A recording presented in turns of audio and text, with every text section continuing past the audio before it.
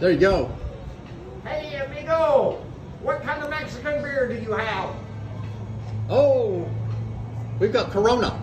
Corona! Corona is what I want. I'll take a double. We'll buy you a pitcher. Thank you, sir. Thank you very oh. much. Bye-bye. Bye bye, amigo.